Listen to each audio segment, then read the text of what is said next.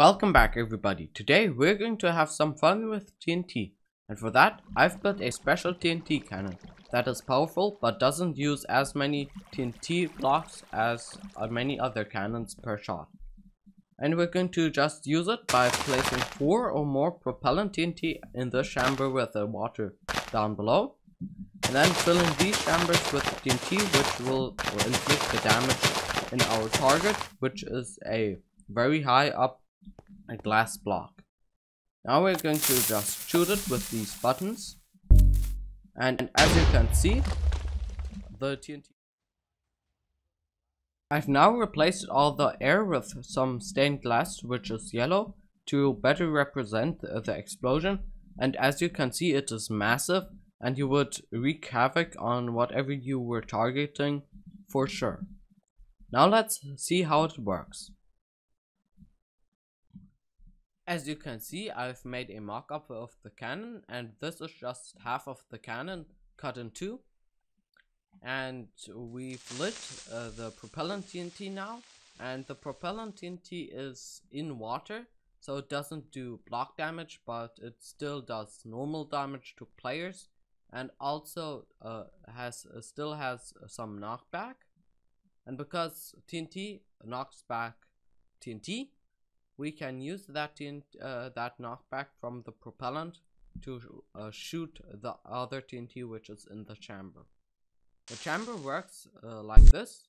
First of all, the first sliver of the TNT, so the first 4 TNT gets lit with repeaters and then the other TNT are pushed into the place where that TNT was and because the TNT which is lit is now a entity you can also uh, push in those blocks.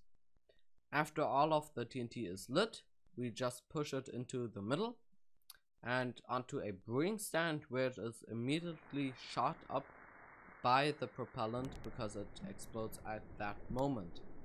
And we use a brewing stand because a brewing stand has the property that the height is exactly the same as a normal block but it can a the push force of the propellant can pass through the brewing stand allowing it to shoot. You can also use other blocks but it won't achieve the same results uh, but you can mess around with that. I would recommend if you don't want to use a brewing stand maybe a slab but i haven't tried that yet. So building this cannon is actually quite easy and we're going to start by building a tub uh, and uh, this tub has to be five blocks long just like this. And at the end you have to place a brewing stand in the direction where you want to fire. Then on the other end we want to place a water source and above that a carpet so you don't place TNT in that water source. Then we want to go below the uh, last block right here next to the water source and this is going to be our input. And by the way i'm only building one side so you have to mirror it on the other side. So right right here where the wall is you have to place the other water source right here. But from this block down here we're going to go out like this and i'm using concrete for the redstone then create a snake-like structure and then we want to power the blocks where the TNT is going to sit with the repeaters just like that. All of those have to be on one tick. Then we have to go out from that redstone right here with a 4 tick repeater. Then just extend it a little bit and then get some more repeaters and set all of them to 4 ticks. Now we're going to go right here uh, to the brewing stand and one block after that we're going to place a four uh, a four blocks of a immovable object. I like to use note blocks but you can use obsidian or whatever you like. You shouldn't use melons though because they can be pushed and then they would break.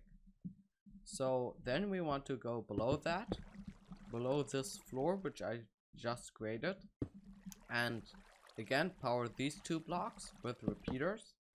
And this is uh, what is going to ignite the TNT which is going to inflict the damage. Then above that we want to power these note blocks to uh, uh to activate the upper TNT and we're going to activate it both times with one tick repeaters. Then just create a ladder just like that and place in last four tick repeater. Just like that. Then we want to have some double piston extenders pushing the rest of the TNT into these powered positions and then onto the brewing stand. And for that we're going to place in two double piston extender sets. So here we have to place four and here two just above each other and then place in a wall right here the double piston extenders are a bit complicated but first of all you want to power them from above with redstone just like that. Once at the first one and then one block uh, uh, before the second piston just like that. And then connect the uh, first row so for the first piston the front piston with the uh, to the second piston with a two tick repeater on both double piston extenders.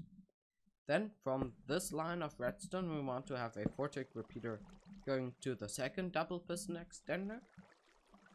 Then we want to grab out a slab and place it right here on the corner and then place uh, some more repeaters a 4 tick repeater right here and a 2 tick repeater facing into the first double piston extender then a 1 tick repeater to the uh, uh, sticky pistons right here and then connect them with redstone like this again in a stair like fashion. And now we just have to connect it uh, to this redstone and we have to use redstone and a three tick repeater that's pretty much the whole contraption. And if you only build one side that's okay. You just have to use three TNT like I said already. And you have to place any block right here. And I'm just using barriers so you can see through. So this is what it should look like about. About like that and yes li exactly like that. And now you can build the shaft and for that we're going to just place in a block then a slab block slab block. In this uh, kind of fashion it could be steeper but I like to have it safe like that. And now you can fill the TNT cannon and right here you have to use three and don't forget to put a roof on it or else it won't work. Now we are ready to fire. And it should all be well like that. The TNT is pushed onto the brewing stand. That's uh, the most important thing of this cannon because all the TNT flies uh, together. That's a very good thing to have a big explosion. But now, I hope you enjoyed and if you did, make sure to like and subscribe. But anyway, you can check out my other projects if you are interested in more redstone stuff.